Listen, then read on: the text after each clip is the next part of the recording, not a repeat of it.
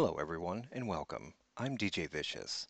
In this video we're going to talk about whitelisting your Firestorm viewer, what it is, why it's important, and how to do it. But before we begin, I'd like to introduce a friend I brought along with me today, Smiley. Say hi, Smiley. Well, I guess he's not in a talkative mood. Some of you may have been considering going back to your previous version of Firestorm. I can hear your nods. But before you do, Watch this video to the end as these steps in many cases solve the issues that many of you ask about or have heard about. In addition, even for the more robust user of Firestorm, you may find some useful and helpful information. For those of you who are upgrading to version 7 of Firestorm from version 6 for the first time, you will want to pay close attention to these steps as you may not have done them before. For those of you updating your current version to the most recent version, these steps may look familiar to you and will serve as a refresher. It's important to note that each time you update your Firestorm viewer, you will need to re-whitelist the viewer again. While the file names may look the same to you from a previous version, they're not. The binary in them is different, and your antivirus will treat these files as something new it has never seen before. I should note that if this is the first time you are installing Firestorm on a new PC, or if you have completed a clean install, you should launch the viewer one time, log in, wait one to two minutes, then log out. Otherwise, you may not be able to find some of the folders you need to complete the whitelisting steps. The sooner you become familiar with these steps, the faster you can get back to what you truly enjoy about being on the grid. By now, many of you have discovered or heard Firestorm 7 is PBR enabled, which stands for Physically Based Rendering. PBR has been a game changer for how we see things on the grid. It's important to know that PBR is not something exclusive to Firestorm. In fact, Linden Labs released PBR onto the grid in November of 2023 and subsequently into the official Second Life viewer. If you're wondering what PBR has to do with whitelisting your viewer, we're about to cover that. what is whitelisting? In short, Whitelisting is the process of telling your antivirus that a program or folder is safe. Adding a program or folder to the whitelist is also called an exclusion. If you find yourself asking, isn't my Firestorm viewer safe? Not to worry, it is. The reason we whitelist Firestorm is because as time moves on, antivirus programs become more aggressive, which means they are actively scanning your PC for threats, thus creating an exclusion prevents your antivirus from scanning these files and folders on a real-time basis.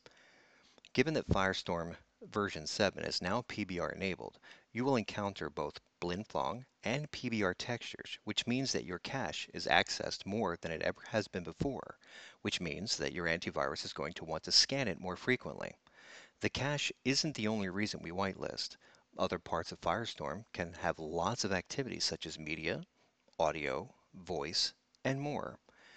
Not whitelisting causes your antivirus to look at these as well, and if it determines that there might be an issue, it may not only quarantine these portions of Firestorm, but could damage how the viewer works, which often leads to having to reinstall your viewer. What happens if you don't whitelist, you may wonder? Not whitelisting the viewer has been linked to, but not limited to, login issues, slow rezzing, blank or gray textures on objects, orange cloud avatars, our personal favorite, and low frames per second, and other performance-related issues. While there are other things that can cause these issues, viewers that are not whitelisted are a common reason. Here's an important note. You may have heard or know someone who says, I've never whitelisted and I've never had any problems. This may be true. Even for those who have really strong and capable PCs, they are working them harder than they need to because their antivirus is scanning the changes in the files and folders all the time. It is important to note that the Firestorm team has been recommending to whitelist the viewer for more than 10 years. In fact, Linden Labs now recommends whitelisting the official Second Life viewer for all of the same reasons we've been talking about here. So in short, no matter if you have a new PC, older PC, or anything in between, whitelisting your Firestorm viewer is an important first step to getting the most out of the viewer and not working your PC any harder than it has to. Now, I must be fair and say that whitelisting may not solve every issue you are experiencing, as some issues could be graphic settings related, internet related, or PC health related. In the event you still need some assistance from the dedicated support staff, They're going to ask if you have whitelisted the viewer and instruct that you do, as not doing so makes troubleshooting more difficult. Please remember, everyone on the Firestorm team from the developers to the support staff you see in chat are all volunteers and devote their time, talents, and energy to helping us enjoy our Firestorm experience. Now let's move on to how we whitelist. There are three important things in Windows we must do before we whitelist the viewer. First, be sure that the viewer is closed. Second, we want to be sure that your antivirus can see all the directories we need. And third, you'll want to remove any previous exclusions in your antivirus from previous Firestorm versions. Please keep in mind you can pause this video at any time and follow along with the steps as we cover them. As I've already whitelisted my viewer, I'm going to go ahead and keep it open for the purposes of this demonstration. Next, we need to make sure that your antivirus can find all the directories that we're going to need. At the bottom of your screen, you'll notice that you may have a search bar. If you don't, you can click on the Start button and use your search here. First, we're going to look for File, Explorer, Options. We're going to go ahead and open this. Let me bring this window into focus for you.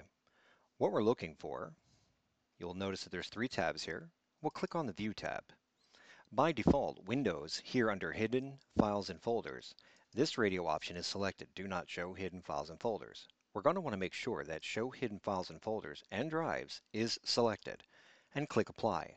Don't forget to click Apply, or these changes won't take effect and we're going to add a few steps later.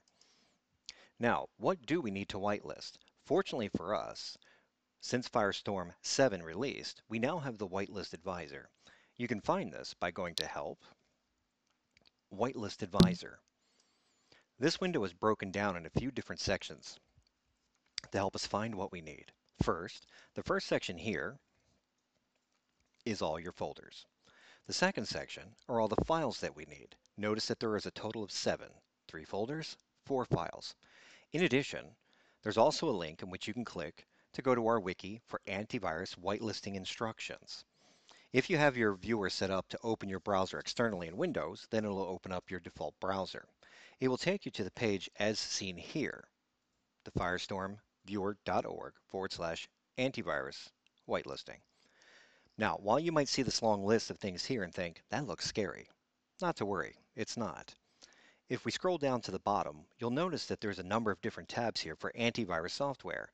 Ad-Aware, Avast, AVG, Bitdefender, ESET, Malwarebytes, McAfee, Norton, and Windows Defender, which is part of virus and threat protection.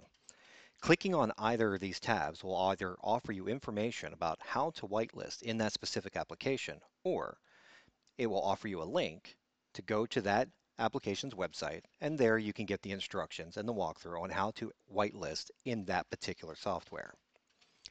Let's go back to our whitelist advisor.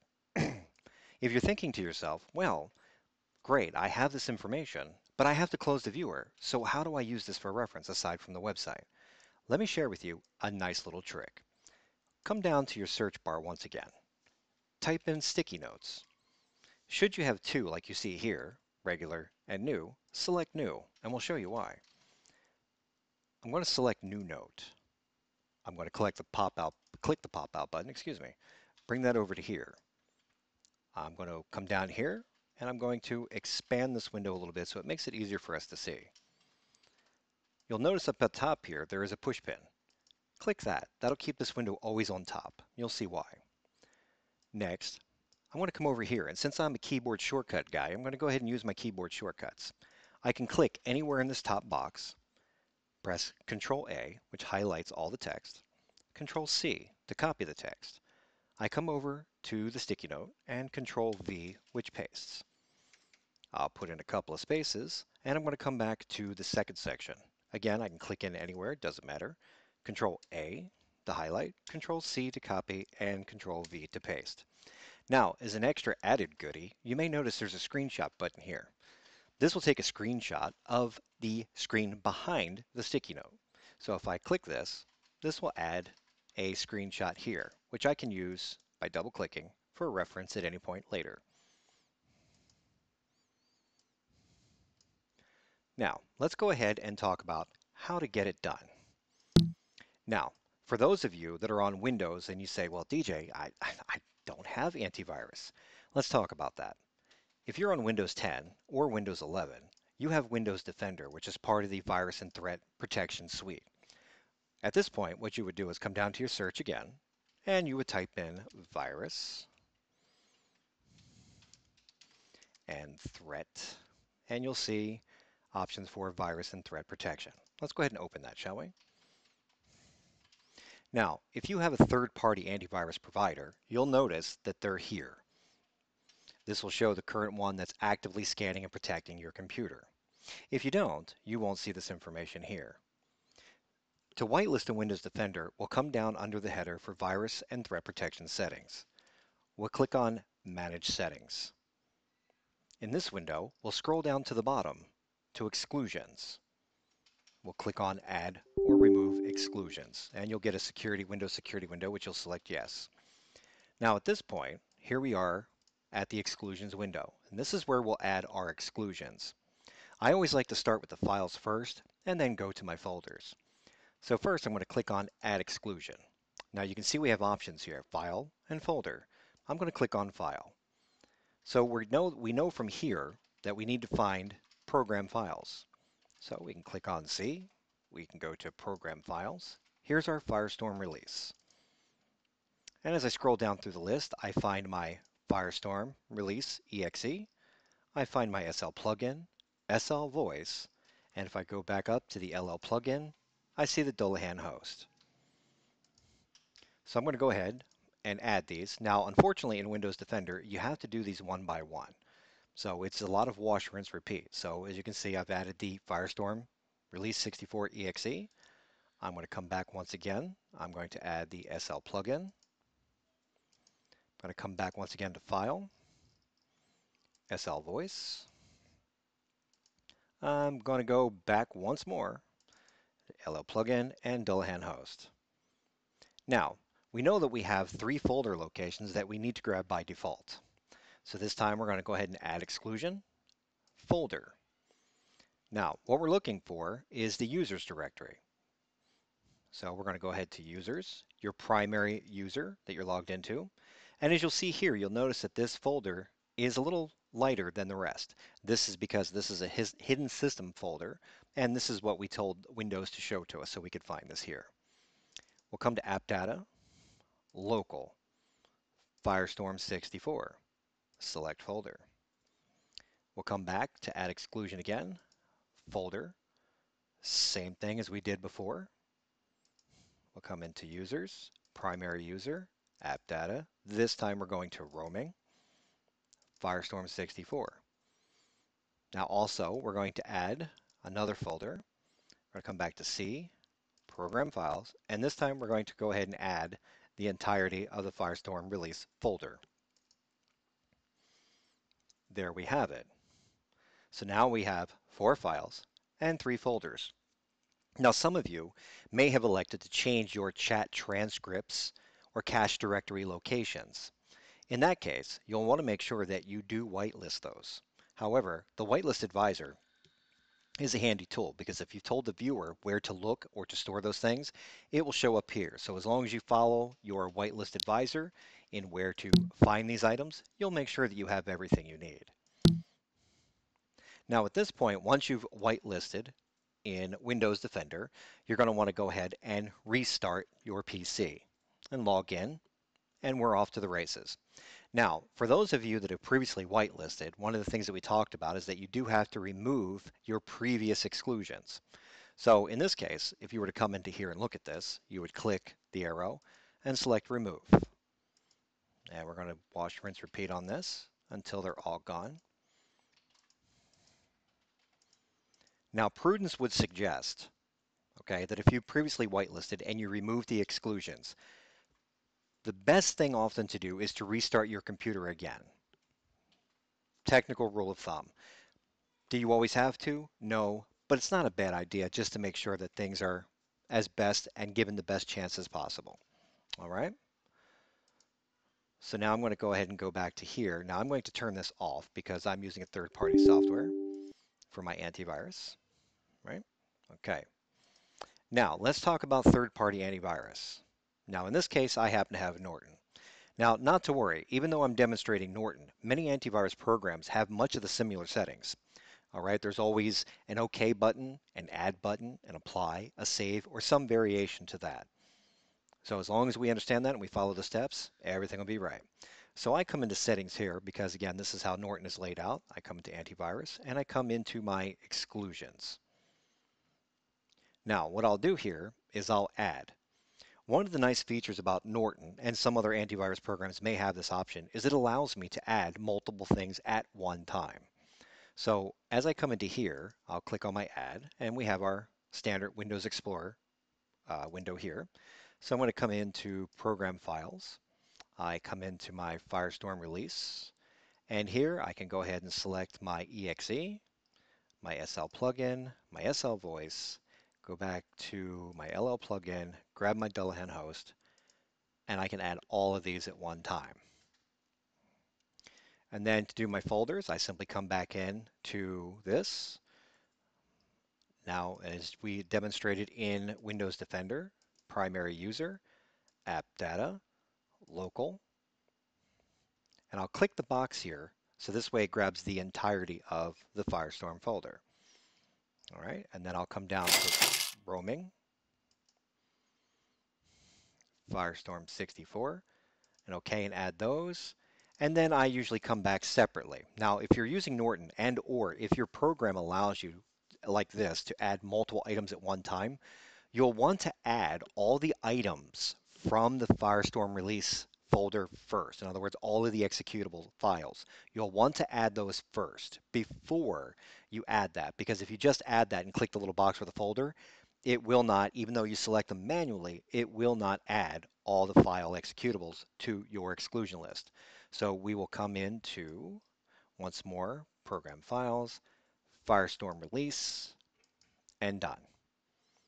And then I would hit Add here, okay? And that adds everything to the exclusion list. So as you can see, and we talk about, and you folks probably see in the chat often, that if you do have multiple versions, each version does have to be whitelisted. So as you can see here, I still have beta, even though the last beta is now released, as we all know. However, I still have beta, and then I have my release version. And as you can see, each of these files are properly whitelisted. Now at this point, I would restart the computer, log in, and everything's right as rain. I thank you all for tuning into this video. I hope you enjoyed it as much as I've enjoyed making it. If you have any additional questions, please don't hesitate to stop into the FSE support chat and we'll be happy to help out. Till next time, have a great one.